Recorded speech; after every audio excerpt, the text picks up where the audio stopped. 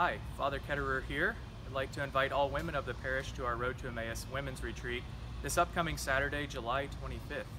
This one day retreat is meant to be a smaller, more intimate retreat uh, with only 30 women. It's a great chance to spend some time with the Lord, to renew yourself, and to recharge your batteries in the midst of all the craziness going on right now.